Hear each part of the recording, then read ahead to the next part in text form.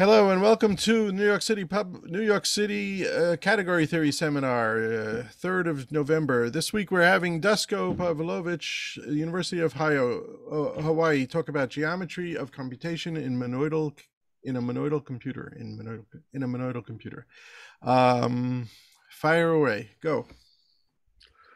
Okay, so thanks for inviting me. Um, I I mentioned that I'm speaking to you from the future, from, from tomorrow, not so much uh, because of the time difference, but to mention that I, I'm not in Hawaii and I, uh, the Dutch climate gives us this, this wonderful sinus headache. So I hope I'll, I'll be coping with it without any repercussions on the, on the talk, but um, I am subject to it here, here at midnight.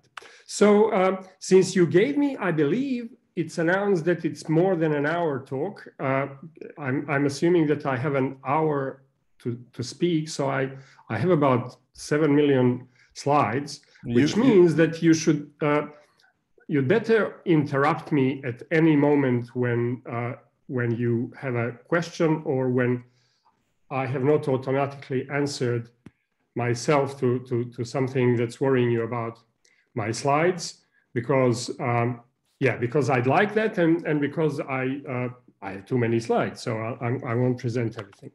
So you, you, you, can talk as long as you want as long as you don't consider anybody leaving to be rude. That's our. I don't problem. consider anybody leaving to be rude, but on the other hand, I consider those interrupting me to be even less rude. That, okay. That's that's what I'd like to say. Okay. Um, anyway, let's begin with, so what's the, what's the idea of, I'm, I'm talking about this, you know, computer in pictures, which, which allows us to present computability categorically, which has been done probably in many different ways. So what's the point and what's the intuition? Machines um, are the source of the intuition. So we live among the machines human machines and artificial machines. And here's one which you remember from school. It takes pairs of digits as inputs and it produces a, sequence of pairs of digits as inputs and produces a sequence of digits as an output and it keeps adding these digits and when it can't output them as a single digit then it changes state and carries um, over the digit into the next operation, and it's the binary adder. And then you can, uh, then people got smart and said, well, I can actually build, build these machines so that they can be modified, that several such machines can, can be packed into, into the same one. And then it can not only add, but also multiply numbers, although it can add numbers of arbitrary length, and it can definitely not multiply numbers of arbitrary length uh, as a finite state machine. And uh, then they can get even smarter and they can make machines which combine these operations in such a way that the output cannot be recognized from the input or the proper output cannot be generated unless you unless you plug up or connect several such machines uh, and, and, and, and add to the one, the same key which the other one had. So this is, this is the Enigma machine. And then, um, and then they actually um, uh, start adding physical aspects to it. So they can, instead of just digits, they can put laundry into it, which is actually nothing special. I mean, every, everyone knows that every washer contains a little computer, but if you think about it, there is a sense in which every computer is a washer because these physical things uh, are coming in and out. We, you know, we, we don't so we solve physical puzzles. We don't take puzzle as an input and, and think about it, but we twiddle with it. So computers also twiddle with things. And then we can continue doing the same things, pack these physical functions together. And um, the common denominator of all of these machines is um, that each of them has a function, but more importantly, that different machines realize different functions. Whenever you see a function, you build a different machine. And then as these functions get complicated, they start, they start using each other. Uh, they start packing lots of functions to achieve what they need to achieve. And they even start using other machines. And at that point, certain threshold is, is crossed when, when to achieve certain functions, these uh, machines stop being tied to a, to a single purpose and, uh, and start being able to uh, recognize each other, not only to use one another uh, for their particular purpose, but to serve other machines' purposes, to recognize, to be able to reprogram themselves to do what other machines do. This is what Alan Turing realized while he was asking himself what happens with people we love when they die. And, uh, and he solved the, the, the mind-body problem. So um, in a way here we have a, a, a purpose-driven machine and another purpose-driven machine and uh, more than driven by their purposes, they start being driven by programs. And then these programs can be modified. So, so a machine which was built for one purpose can, can serve another purpose and another purpose and many other purposes. And uh, we go from these purpose-driven machines to universal machines. And uh, so a universal machine would be would be a machine can, that can do anything that any other machine um, of its type can do. And that is, this, that is the idea of a universal computer. It's a, it's a, uh, it's a function which, when you give it some input, it does anything that any other function in its universe can do. Um, so if, if we're given a computation, what's a computation? A computation is some function for which there's a program. And what's a computer? A computer is a function such that for any other function, there's a program which uh, su such that uh, uh, the computer can perform that function, which we then call computable. So I'm I'm just uh, I'm just saying in words what what everyone has seen, and then in slightly different words. I mean, this was this was what what what Alan Turing noticed when he when he said, well, if I add to these machines external memory, then they're going to be taking data and uh, among the other data, this thing which Gödel did, some data can describe functions and then they can input these descriptions and, and they can be, they, they'll be computers. Um, they will work like computers. Computers were in Alan Turing times, Alan Turing's time, some people who were who were working on a on census, I believe. And then uh, John von Neumann slightly modified that and uh, and uh, moved it closer to the engineering and made the distinction between hardware and software, which is which is the distinction where, that, that we've been living with ever since. So let's make some math out of out of this story. First, I'm gonna, in order to be able to say all this in pictures and yet uh, somewhat precisely, first I'm gonna introduce what, what is quite well known to, to, to category theorists. I, I, I, suppose everyone here knows this. First, uh, data services without variables. So here, their types will be, will be drawn as strings and data which are, which are traveling through uh, through these strings to be thought of as, as channels um, will then be, um, will, which are normally uh, referred to by variables, we'll be able to elide these variables from. And then um, parallel composition of types, par, uh, uh, uh, uh product types will be just putting two strings together. And the uh, unit type is the invisible string. So next to any string, we imagine, we can imagine any number of invisible strings, which are the unit types.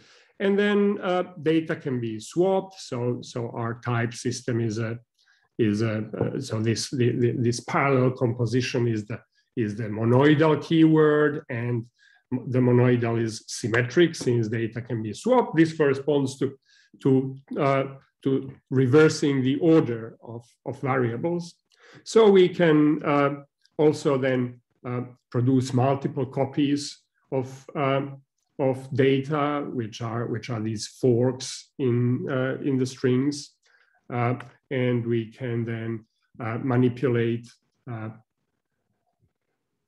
deliver our data as we do by referring to them uh, using variables. And uh, so constant uh, data, such as number zero here, or procedures, which are the functions that take no inputs, are denoted by triangles. Uh, computations are denoted by boxes. So I'm just in, introducing these things. I mean, these slides are, to be honest, from my from my uh, from my undergraduate course. Uh, so I introduce students who don't know any category theory and swear that they have never heard about induction. I I I, I use use these pictures, and so I start from scratch and introduce pictures on their own account. I apologize if I'm boring someone, but there's no more than three or four more slides about this. So boxes, and then um, identity functions are the invisible boxes, which so every every string corresponds to the identity of that type. And then we can also compose these functions in parallel by just by just uh, drawing these boxes adjacent to one another, next to one another. Um, and um, um, so we can also compose them sequentially by uh, piping the output string from one function uh, into as, as an input stream into the other function. And uh, last but not least, data can be deleted. This is in our computer the only thing that would cost us energy. And, uh, and now we're in the business to say what is uh, really, so I, I've been using the word functions, but we didn't really have total and single valued computation so far. But a total computation will be uh, will be something that um, if we uh, whenever whenever we can delete the input, we'll be able to delete its output. That's what we, this equation says. And uh, a single valued uh, computation is the computation where if we can produce two copies of its output, uh, it is the same thing as if we produce two copies of the input and the run the thing twice. Uh, it means that it always produces the same input. So these total single valued computations are what, what we have been calling functions. We need to be able to distinguish that and and they are uh, distinguished in, in the diagrams by these dots, which I, which I draw on the out, at the output port. Maybe I should remove this picture of myself from, from what I'm sharing with you, or at least minimize it like this. Um, no, it doesn't. Uh, I mean, we we see it the same size. You're perfect. You're perfect. Okay, um, and uh, so what else do I want to say about, aha, okay. So what is the upshot of all of this? So normally diagrams being two dimensional have diagonals and stuff. And here strings prevent you to read these uh, string diagrams across. So the point of string diagrams is that they are literally two dimensional text. You can read every string diagrams either bottom up or left to right, or, or you know, like, like with all languages, some people write right to left and some people read string diagrams uh, top down. That, that is, that is uh, free and, and, and, and a matter of habit. But the fact that there are just two directions uh, of reading these diagrams is something that matters because then, uh, so how can we read this particular diagram? We can say, oh, I'm going to uh, post compose F with G, and on the other hand, I'm going to post compose T with S, uh, with S, and then I'm sequentially, and then I'm going to compose these two things in parallel. So I have read the whole thing horizontally. First, I have produced the left-hand string, and then I have produced the right-hand string, and then I have composed from left to right. Or I can say, well, I'm first going to compose in parallel F and T. On the other hand, I'm going to compose in parallel G and S, and then I'm going to compose these two things sequentially. So I've read it vertically. And these two readings are the same. And that encodes for us this thing, uh, uh, which is known as middle two interchange of, of Godement law. And uh, so this algebraic law is now um, hardwired into uh, the geometry of our diagrams. And we never need to write this thing down anymore.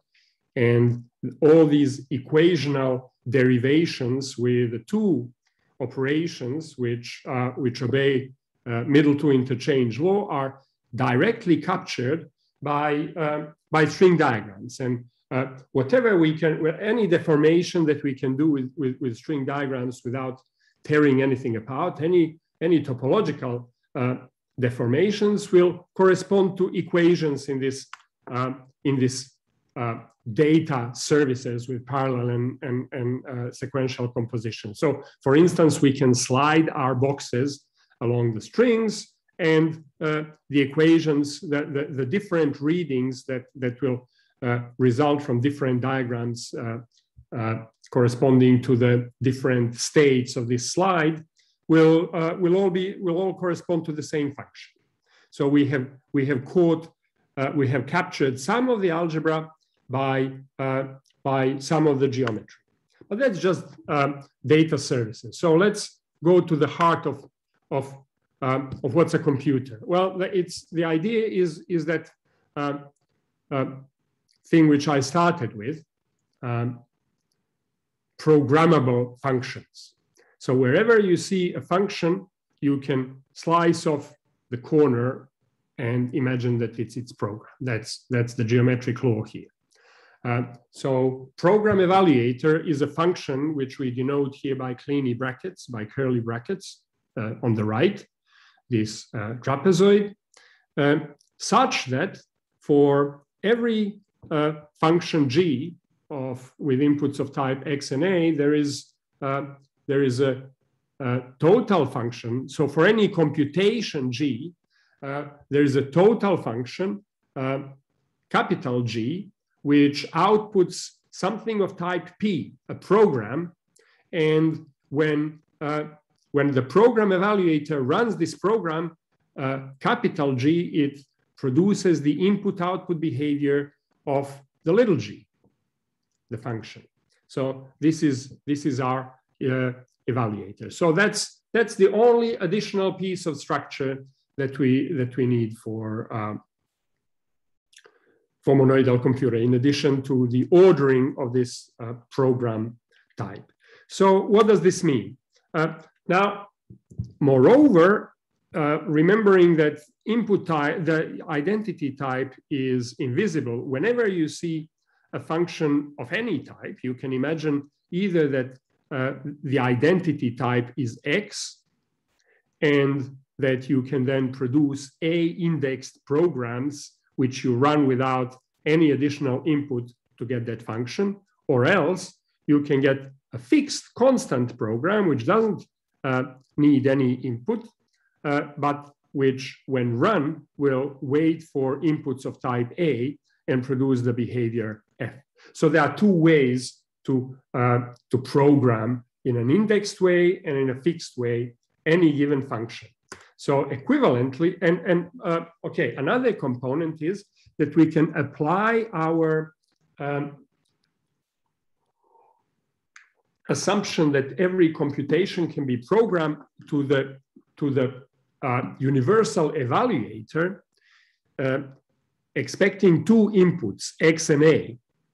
And then we can assume uh, we can take the program type P and the type X to be the indexing arguments, and the program then uh, indexed by the types P and X will be the partial evaluator, what is known as partial evaluator. Uh, or specializer uh, in, in, some, in some other books. So uh, another special case, which is, which is kind of important, that uh, so we can partially evaluate programs for which we have uh, programs which uh, expect two pieces of input uh, for their computations and partially evaluate it on the first input and produce an output programs where the available inputs of the first type X have been uh, already substituted. And these programs will then wait for the inputs uh, of type A. So this is, uh, I suppose, all uh, self-evident and, and, and perhaps well known. This, this, this goes all the way back to uh, acceptable systems, uh, and most people uh, are recognizing these fixed programmability and partial programmability as, as the two axioms of acceptable enumerations in Hartley-Rogers. So our axiom about indexed uh, uh, evaluators uh, is equivalent to that. And uh, in the end, I will, I will actually give you one uh, actually even more or purely categorical version of, of, of that same thing. But in any case, uh, whenever you see a function of two arguments, you can find a fixed program for it and you can partially evaluate it and you will get an indexed program for it. Uh, and the other way around, whenever you have indexed programs, you can, uh, as we have derived, get. So, so the equivalent definition, uh, definition of uh, uh, universal evaluator for index program would be, would be that we have universal evaluators for fixed programs and partial evaluators. So the definition of monoidal uh, computer is that it's an arbitrary monoidal. Whenever I say monoidal, I mean symmetric and even strict. Uh, monoidal category with data services, so I can copy and delete things.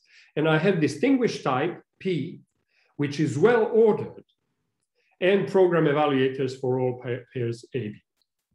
So what can we do with this? So first of all, the first consequence is that every type is a retract of the type of programs. Uh, so this is kind of, everyone knows that, that uh, programs are data, but this says actually that data are programs. We can encode all data as programs by partially evaluating the just any program skip for the identity function that encodes it uh, as a program. And then if we just simply run that program, we will output the data that we have had. Um, of course, such a thing has, has broad repercussions on, on, the, on, the, uh, on our category, one of which will not be uh, that, that there is a partial combinatory algebra in it, because we will, we will find uh, we will find that, that actually that always provides an extensional collapse. Uh, however, uh, the fact that uh, all, um, all data, all, uh, all types are retracts of, of a single type means, moreover, that also uh, all idempotent split. So, so if we swap around these two components of the these, uh, these two functions uh, to which each type is, is decomposed, the encoding of the type as a program and the decoding of the program into the data of the, of the given type. If we swap them around, it's easy to see that we get an idempotent. So in other words, a type is a sort of a filter, uh, a projector. It projects away uh, uh, any given program to a, to a piece of data of a given type, and, uh, and then it outputs um, a unique code for, for that data item. And then if we have an idempotent of an arbitrary type, uh, we certainly know that, uh, that we can uh, encode that, uh, the, the splitting of, uh, of that arbitrary type as an idempotent on the type of programs and moreover, we can then uh, also split that idempotent on, uh, on the first given type. Uh, all of that by, by reshuffling these, encoding uh, and decoding functions. So uh, all idempotents split and uh, all uh, types can be expressed as idempotents. Let's derive a, a, a couple more types. So the simplest ones is we choose some program for the first projection and some program for the second projection, and we call them uh, uh, truth and false, uh, where we are using the uh, universal evaluator as a as a bad kind of uh, if branching. Uh, we can we can certainly improve and produce the the, the, the better the, the not so eager if branching. But for the, for the moment, uh, this one does uh, works. And then using, using this, we can show that actually we are in a very, we're living in a very intensional world because for every computation, we either have infinitely many programs or the whole thing collapses to a singleton. Uh, and then uh, we can also assume uh, that uh, false is less than true. We can choose them that way. Uh, and then we can produce the, the filter, which will output only true or false uh, and uh, uh, not terminate on anything, on anything else. So that um, we have the type of Booleans. And then we can go on and uh, using these Booleans, see what more uh, can we compute in general. So the essence of the of the whole thing is that uh, the abstraction, the program abstraction, is not what Church imagined it originally uh, to be. It's not an operation. If we uh, we know that you know if someone gives us a function producing an abstraction of it, producing a program is not uh, a computable thing. It's not an easy thing. Uh, so how do we program without without abstraction? How do we live in this in this world of functions alone, but we we don't have an operation of abstraction? So so that in in general, uh, I mean, mind you, I'm not I'm not spelling out any model here because any Turing complete language that comes to your mind right now produces a model. You just take that uh, you just take literally the expressions of that language uh, to be the, the, the your, your uh, type P and all the filters and idempotents, all the programs that you can express, uh, all the uh, projector, projectors that you can express will be your types. The fact that there are idempotents corresponds to the fact that we define recursively enumerable sets in two ways, either as the domains of recursive functions or as images. And uh, that means that, that, uh, that we can combine them into idempotents. So that, uh, that yields uh, a model, uh, a monoidal computer out of any uh, programming language, assuming, of course, that, that the product types are given and uh, and that there, there's a usual variable mechanism which which gives us the the data service. But how do we do without the abstraction? So that's uh, again most people who have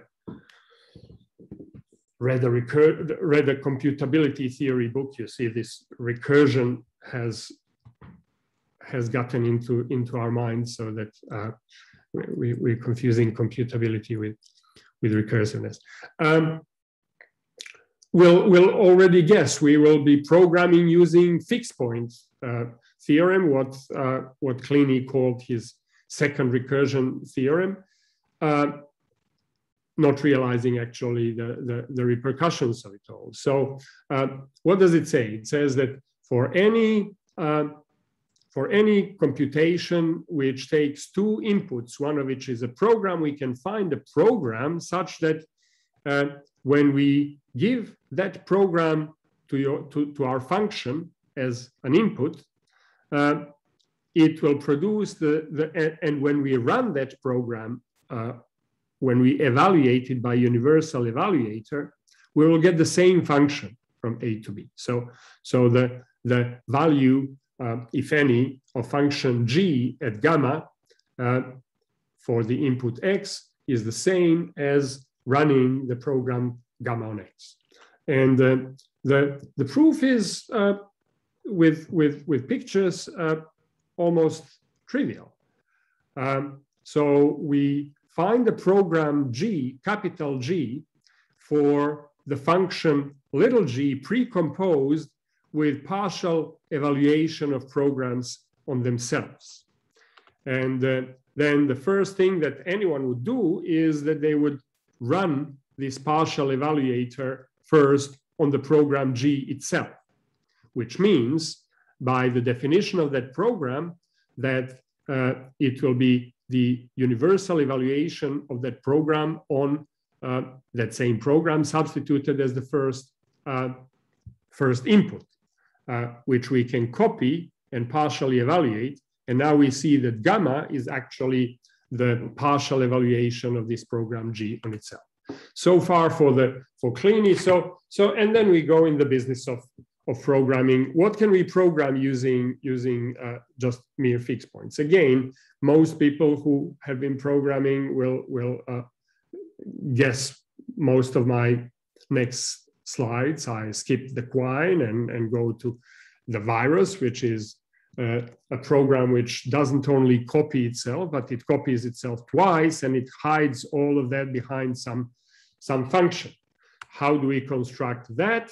Well, but mind you, uh, quines are constructed in, in, in competitions uh, based on quirks in, in, in, in actual programming languages because uh, people kind of think it's easier for me to find a quirk in uh, syntactic quirk in C than to, than to write uh, a partial evaluator. But as soon as you can write a partial evaluator, you can, you can write a polymorphic quine or polymorphic virus. Uh, so how we, did I? I went back. Uh, what we do is we apply the fundamental theorem to the, uh, to the computation which produces two copies of uh, of the first argument and uh, apply some computable function as the second argument. So now the Kleene fixed point of this function is a virus because, so here's that function v, and uh, the Kleene fixed point, uh, when we run it, uh, will, will give us that function. But on the other hand, since that function copies v in two directions, we have two copies of v, and we have f Right. So this is a, a baby, uh, a baby example. Another one is, so some people uh, like coalgebras and, and actually lots of people have been doing uh, coalgebras for hundreds of years, uh, coalgebra for hundreds of years without calling them uh, that. All these infinitary constructions are, are coalgebras. Categorically, we all know uh, that coalgebras are, so there, there's some functor uh, I, I believe everyone can could easily uh, spell out what on a category where everything is a retract of a, of, of a single type uh, would count as a, would define uh, the concept of computable functor uh, because the morphisms are, are also representable. Uh, so if we have a computable functor, and here I'm, I'm uh, slightly cheating, I, I move the part of this, of this functor uh, as, a, as a product. So here I'm calling coalgebras these if Mealy machines, if you like, where X is the state, A is the type of the inputs, and B is the type of the outputs. And then in coalgebra, they are, they are interested, be computational behaviors are characterized by final coalgebras. Well, I say that in uh, in a computer, the uh, type of programs is not just final coalgebra, but it's a universal coalgebra, which means that it produces a weakly finite, uh, a weakly final uh, coalgebra for every computable function. So a universal coalgebra, uh, uh a computation over quote unquote state space S uh, is a universal coalgebra if for any computable functor and any coalgebra Q, there is a step function. I'm calling it intentionally the step function. This is the concept due to, to Manuel Blum. There's a step function Q uh, such that uh, such that the familiar um, square characterizing uh, final coalgebras commutes. So uh, some people call if if this uh, if this step function is unique, then this would be what they call anamorphism in in uh, in Bird-Meertens uh, uh, calculations of of programs. As a string diagram, it means that we need that we need a sort of uh, uh, an F state machine, um, like like the like the one on the left, uh, such that for every q and that, that for that, such that for every uh, coalgebra little q, there is a step function big Q, such that little q post composed uh, on the state argument with big Q is obtained by just running your universal coalgebra on the little q. So how do we construct these step functions? Well, the same old thing. We apply the, the, the, the fundamental theorem and we construct the Kleene fixed point this time significantly. Um, we are looking for Kleene fixed point of the post composition of our coalgebra with the partial evaluator. And that Kleene fixed point then gives us the step function. Why am I calling this step function? Well, step functions are Manuel Blum's uh, uh, complexity measures. And this is where, where the, the point of all of this, uh, uh where, where all of this started. I was at Royal Holloway and I was supposed to teach cryptography with one-way functions and trapdoor functions to, to students who, who uh, never had a computability course. So, I, so I, I and, and, and we're kind of trying to claim that they, they wouldn't know what structural induction would be and so on. So I, I, I thought I would teach them computability in a month or two. And, and I started drawing these pictures and I drew the pictures to the point where, where I could draw these uh, step functions. And then that, that's how I define complexity measures. And, and it, I, I, managed to, to, to define one-way functions in a, in a one uh, term course, which, you know, me and the student, we, we claim that they learned something, but I'm not sure whether that's really true. In any case, this is one track uh, where it goes. But more generally, how do you how do you program in this in this uh, language with, with just universal evaluator? Well, you know, someone wants to wants you to build a software system. A software system is a bunch of components. You know, it's an n tuple of computations. And uh, so suppose that we can write down these specifications in such a way that they, they, their mutual dependencies are written in uh, in the way they are processing each other's programs. So if we have uh, an n tuple of computations which we view as specifications of the desired functions, then using the Kleene fixed point, we can construct an n tuple of programs uh, which are fixed in the sense that when you when you feed all of these programs to to uh, to all of the, uh, when you feed all of these programs to, to the given functions, you will get uh, what each of these programs is evaluating. So you, you have, in a sense, implemented each of the n desired functions. You have found the program G. So in a sense, software development becomes solving uh, Kleene equations. Um, and just to, to, to show you how, how this construction would work, let's just, let's just look at the software system with two components. And this is now uh, Raymond Smullyan's theorem, but uh, Raymond Smullyan uses a couple of nasty equations to, to, to, to construct this. And I'm going to flash a very, very easy and simple picture uh, on the next slide. So, so suppose we have two computable functions, uh, each depending on two programs, and we want to find two programs, big G and big H,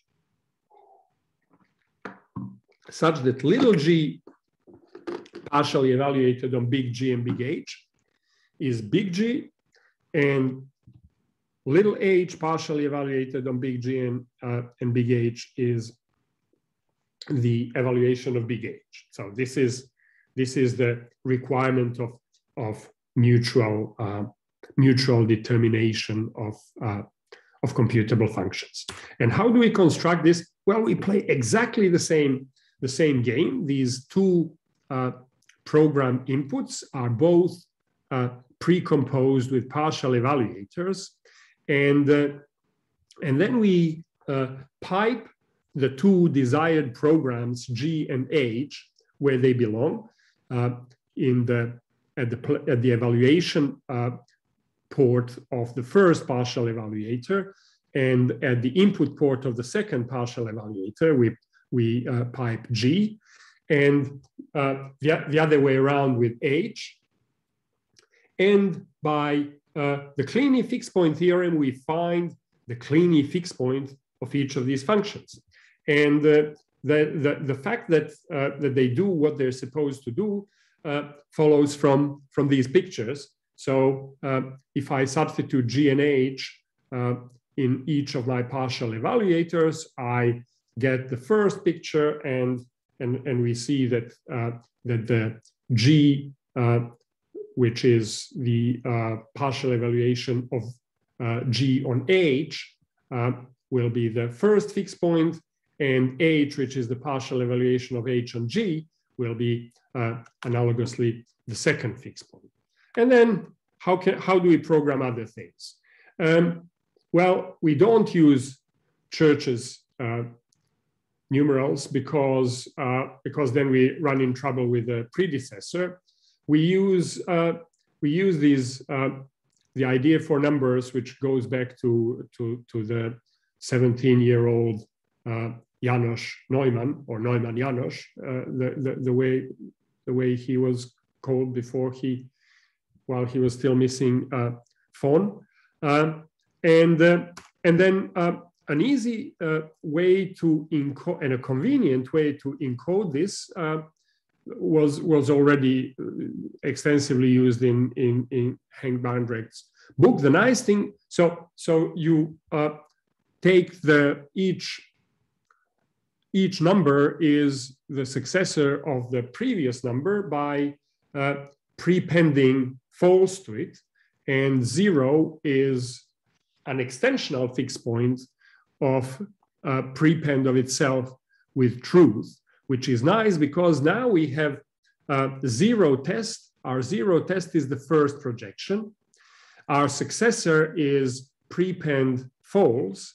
And uh, the base case we can construct again using the fixed point theorem. Um, how, where, where does the tupling come from? Well, we know that uh, every type is, uh, is a retract of programs. In other words, it can be encoded as a program.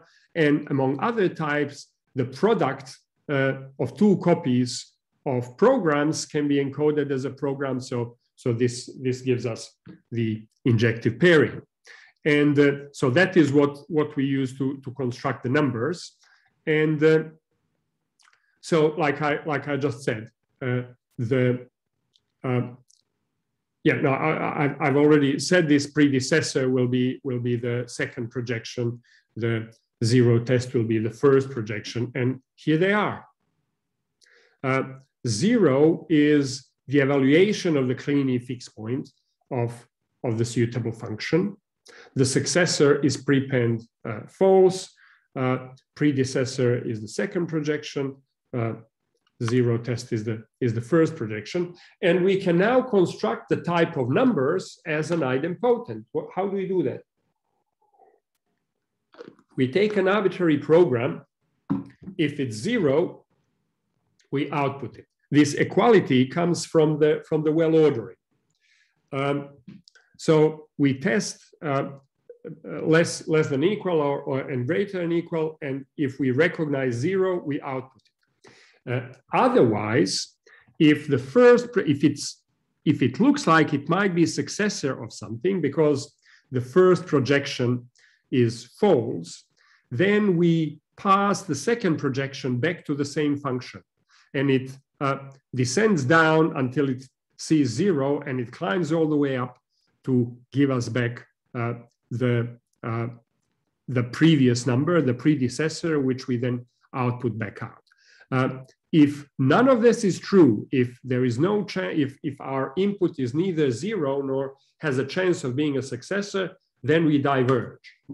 So here is the idempotent. So I'm, I'm running through this just to illustrate how uh, we draw these pictures as, as, as, as actual programs. So here is the idempotent which filters uh, natural numbers uh, in, in Henk Barendregt's and, and Neumann-Janos's form uh, out of all programs, out of the well ordering of, uh, of programs. Um, how do we diverge? Well, the diverge is this omega, the Kleene fixed point of applying self-application to itself. So omega is the Kleene fixed point of this second thing. And uh, so if, okay, so I've said this, uh, then the divergence, again, this is, this is all, all in lambda calculus. The divergence is the self-application of omega, uh, which means that, uh, yeah, why, I, I think we invented math because at places like this, translating it into English becomes clumsy, even for people who speak English a little better than I, or much better. But in any case, this is, a, this is the familiar uh, definition of divergence.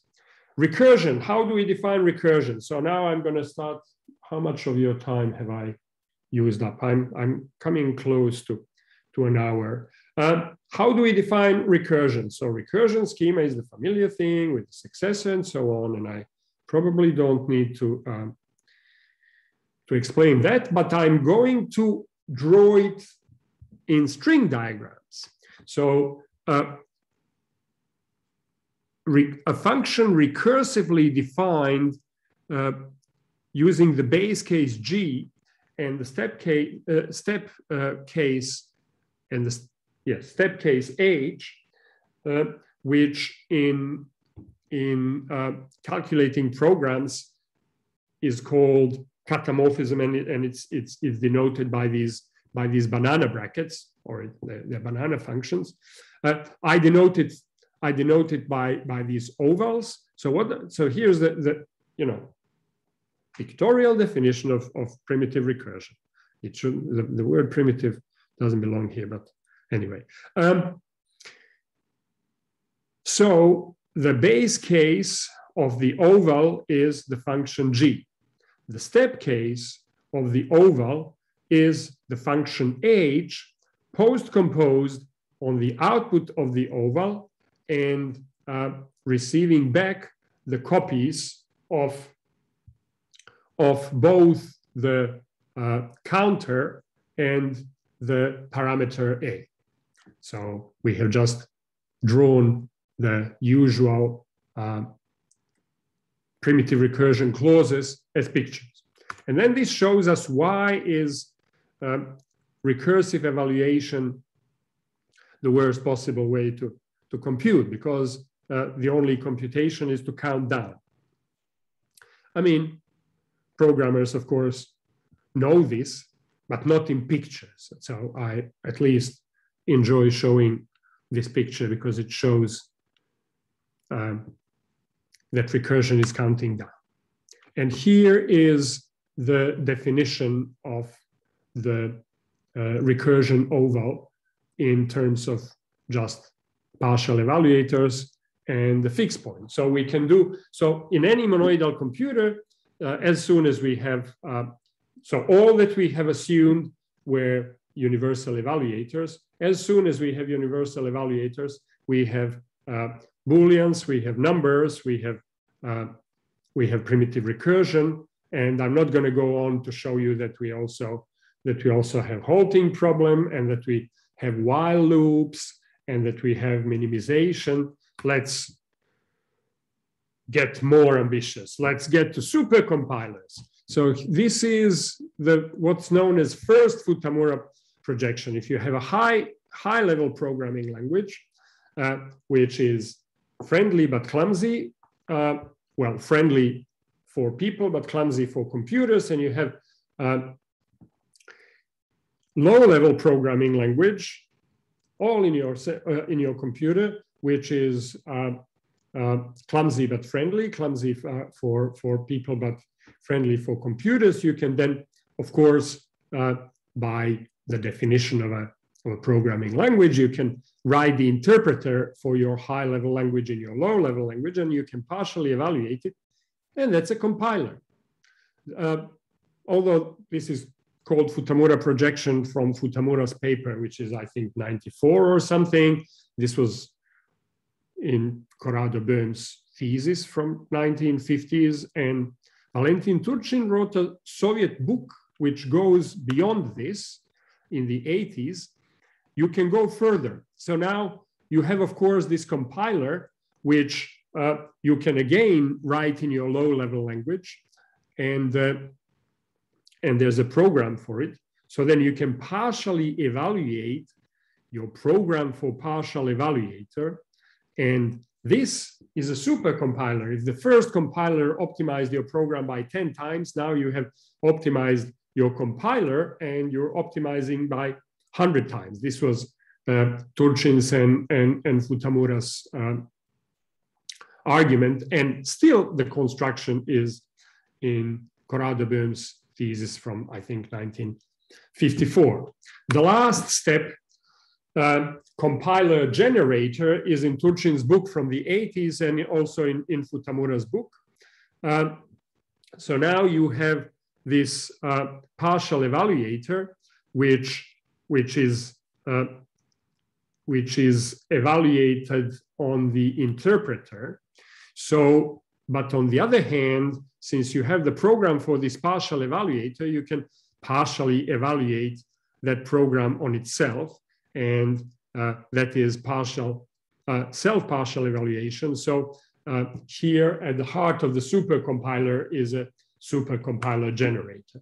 So all of that we can, uh, th so this is, this is kind of like meta programming uh, view of, so we're, we're now, we're now uh, programming computations which compute on programs.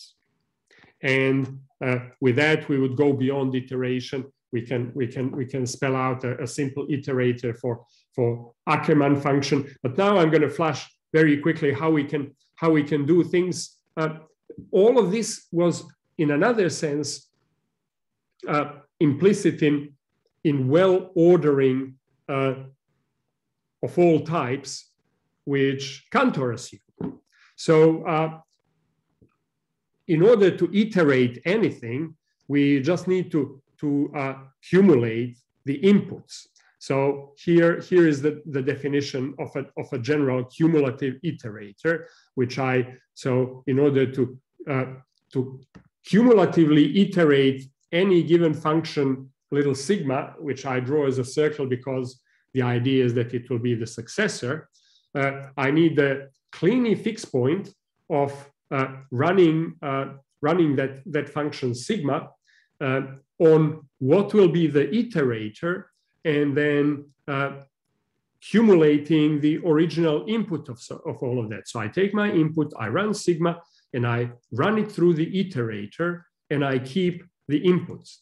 Uh, now, not only do I did I was I able to define natural numbers, but here is the the uh, first transfinite ordinal, which is obtained by uh, cumulatively iterating the successor on zero. And it's easy to see uh, that, that it outputs uh, all natural numbers. Uh, then if you cumulatively iterate on that, you can you can get further transfinite number and the products, and we're getting to the main theorem, which is, in a sense, the only categorical surprise here. So a monoidal category with data services can be a computer in at most one way. If, um, if you have two programming languages and two universal uh, evaluators in your monoidal category, uh, then there are strict programs, are strict program transformers uh, between your two programming languages, which uh, which yield the isomorphism between these two programming languages. It's easy to see that, that they can, that any computer can, com, can interpret any computer, but it takes, uh, it takes some uh, Cantor uh, Bernstein theorem uh, encoding via Hartley Rogers to prove this isomorphism theorem in a category, this isomorphism theorem gives something uh, pretty unexpected. Uh, so the original intensional view of computation was in what came to be known as the Church-Turing thesis also, although Turing didn't intend to, to say that. Uh, most of it is due to Kleene, but what it says is that uh, all that all of these models of computation that have been given, in particular, the lambda calculus, the recursive functions, and the Turing machines simulate uh, one another.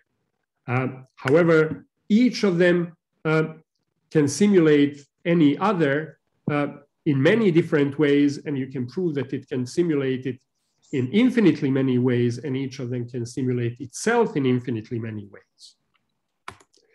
Um, in order to get away from, from this and to, to do some category theory, uh, semantic, semanticists uh, following Dana Scott developed denotational semantics and said, uh, model computations, not programs. And they worked, we, we, many of us lived most of our lives in these Cartesian closed categories. And the nice thing about them is that they are not, not these fluffy, flabby structures, but they are properties. A category can be Cartesian closed in at most one way. And this theorem says that a monoidal category can be a computer in at most one way.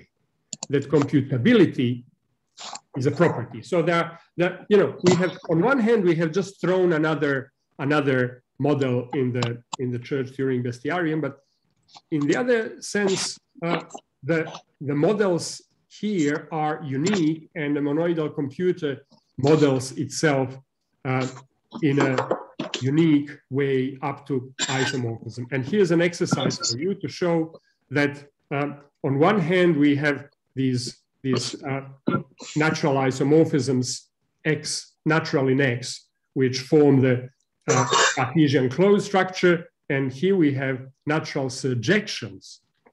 Now, I don't know of, of a definition of a surjection, a cover, which as given is unique with respect to inverse images. And, and here this miracle of programmability gives us this. So thanks for, for listening and, and, and, and sorry if it took too long. Oh, thank you, thank you very much.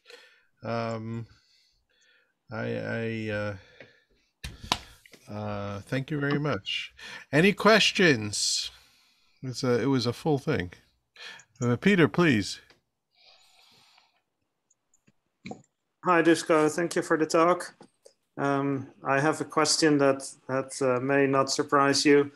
Um, uh, Robin and I tried to do something um, a little bit similar to, to the kind of work you've presented, but not on the level of monoidal categories, but on the level of partial map categories when we did our work on Turing categories.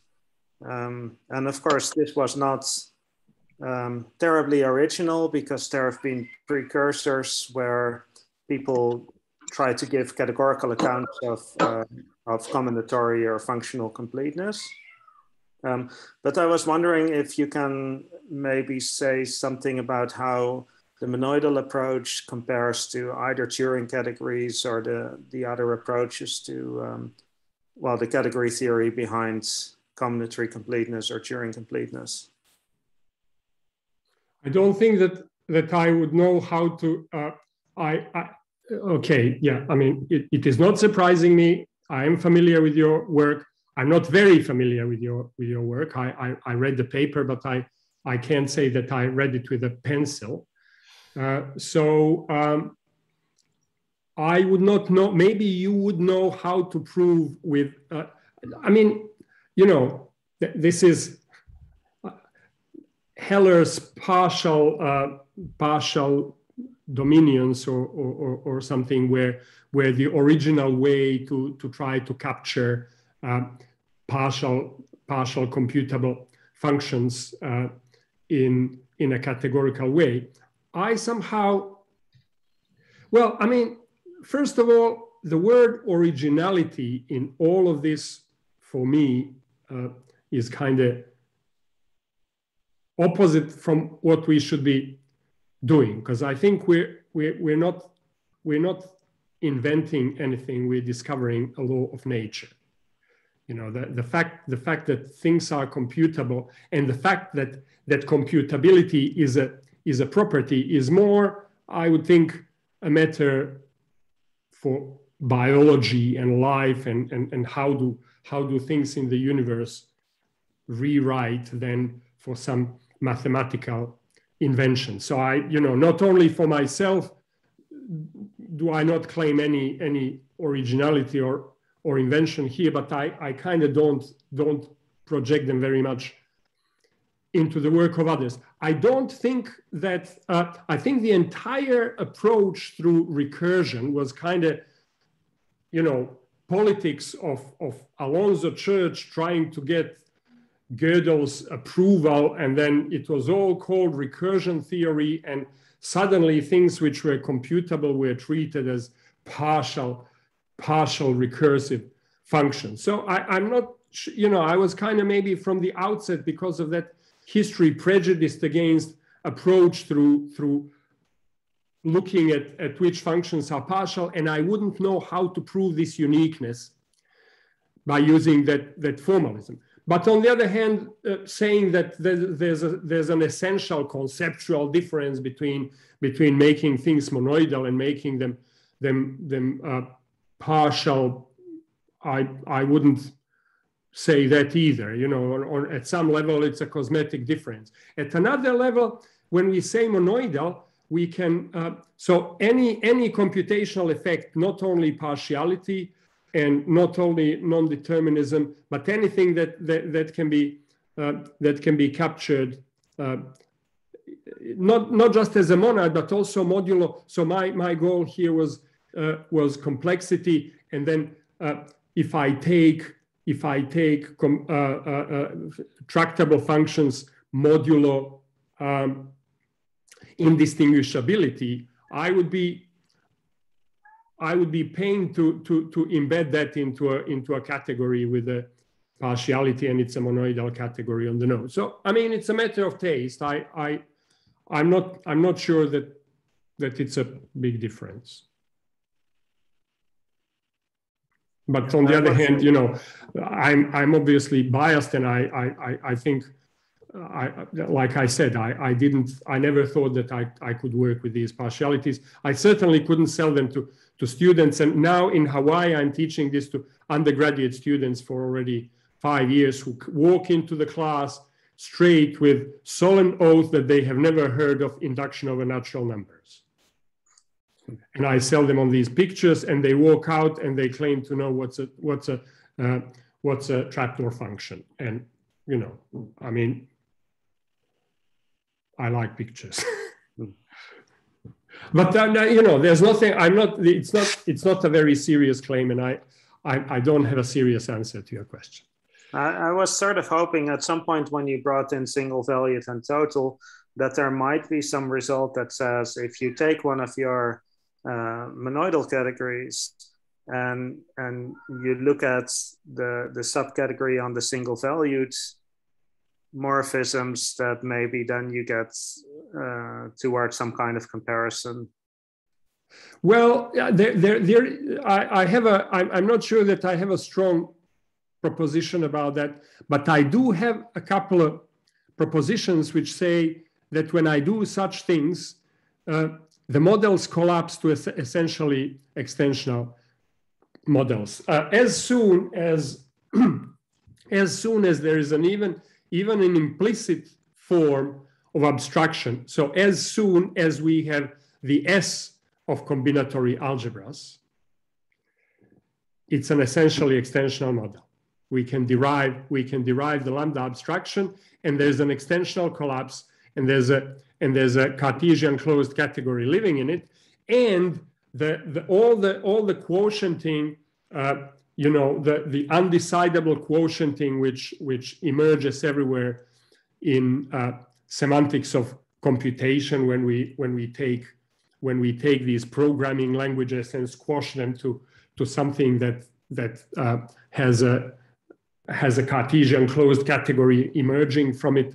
Uh, you know, we, we lose the intensional content and we, which, which is fine. You know, I mean, it's a glorious theory, denotational semantics, but it can do complexity theory. You know, we can't, we can't count, we can't count how, how many steps, we can't count space, we, we can't count uh, how, how much randomness. And that part it doesn't do. Semantics of computation has remained disjoint from algorithmics for that reason.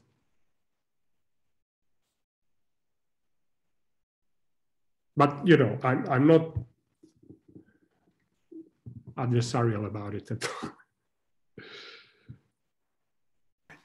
Any other questions? I, I have a quick question. Um, let's say I wanted to do quantum computation. So, what type of categorical structure would work there? In other words, I would have thought you could do everything with Cartesian categories rather than monoidal categories. But you're you're you're doing monoidal categories. Quantum, you you don't have the, the you have no deleting, you have no copying, you have no broadcasting. Let's say you wanted to generalize to there. What what would one have to do? What type of structure would one have to have?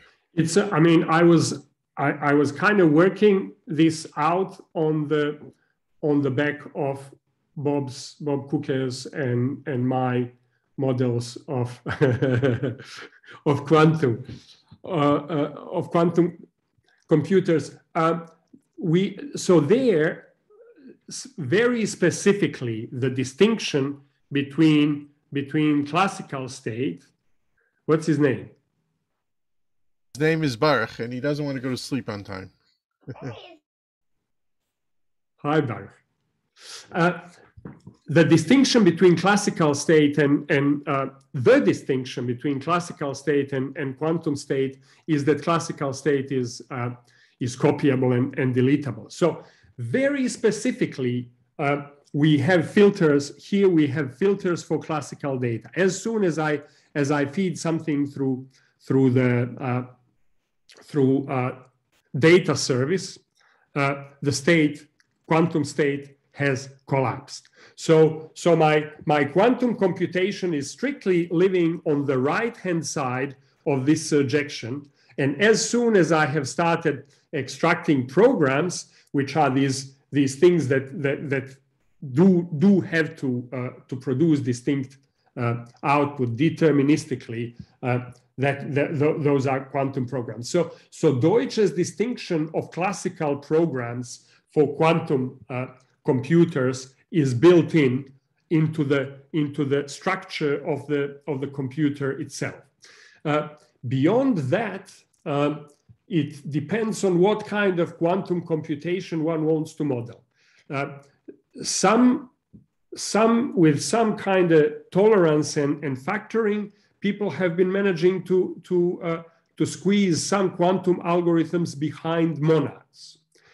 Um, in other respects, some quantum phenomena, such as, well, not quantum phenomena, but measurements, modeling measurements is out of question if we if we try to to hide quantum state behind behind monads. So uh, on one hand, uh, it very much caters for, for that question because these data services very specifically cater for classical state. Well, I mean, after all, you know, the only things that we can pass by variables are classical data. But uh, how do we how do we model measurements that will give some variation uh, in in different monoidal computers? But I I I vouch that it definitely accommodates, I believe, all all models of mono, of uh, quantum computation that that have been presented in in in literature that I'm aware of. Th thank you. Just one, one more thing on your your main theorem. It uh, the point is it's it, all computation is is isomorphic, but not uniquely isomorphic.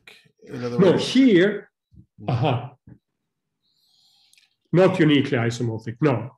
Right. So so so for you know a product in a category is is unique up to a unique isomorphism and this is unique just up to a, up to yes yes yes. So so what you what you're saying what you're saying is absolutely true. The the the translations of programs into programs are reversible but they are not coherent. Right so so you can you can have many compilers, and uh, maybe there's some higher level thing compilers of compilers that show that they're all doing the same thing, but but but uh, you have many different compilers. Yeah, they are well, but you see what emerged. The reason there's a there's a you know strong reason this non-coherence is stratified. It's stratified by Turing degrees.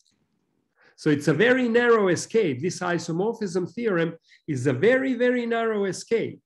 You know, it's it's the strongest, the strongest thing that, that, that can be said because if we if we had the coherence, uh, you know, initially that's why that's why I needed to think. Initially, I thought I thought I'm missing something. This is this is not not coherent, but it is it is not coherent for the very specific reason. It's what what's making it non-coherent is the jump operator the jump and, and you, you, you immediately sensed it. The jump operator is, is, is, uh, is actually, no, it's preventing from higher, uh, it's, it's preventing the high order compiler from classifying all of these because then we would have the, we would have the, uh, we would have the completeness results for, for, for, uh, for Turing degrees.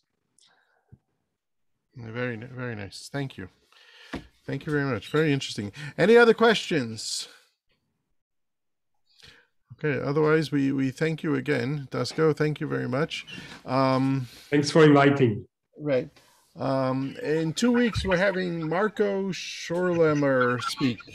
Um, and you're all welcome to come and join, and uh, it's it's a pleasure. Anyways, Dusko, thank you very much. Take care.